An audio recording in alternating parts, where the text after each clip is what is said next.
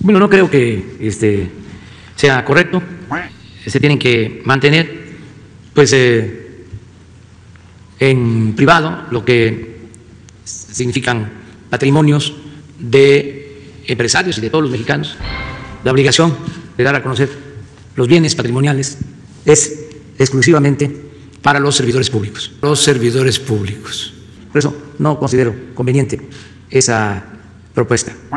Para que no haya tanta desigualdad, lo mejor es que el gobierno ayude a que la mayoría de los mexicanos vaya escalando poco a poco, vaya ascendiendo en la escala social y que no eh, se profundice la desigualdad, que no se permitan negocios ilícitos, que no se permita la corrupción, que es lo que produce la desigualdad.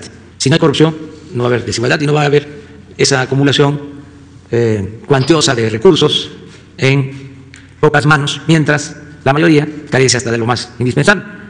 Pero no es eh, dando a conocer o exigiendo que las personas eh, estén obligadas a decir cuánto tienen.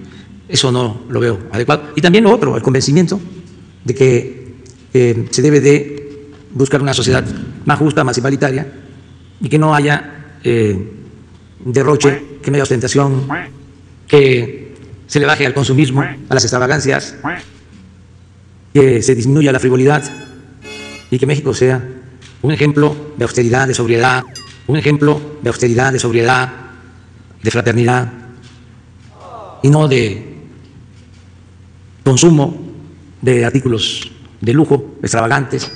Pero eso es un proceso que se tiene que ir dando poco a poco. Y hay mucha gente que tiene dinero, bastante, y que son austeros, sobrios. Entonces, eh, lo que decía Díaz Mirón, pero convenciendo.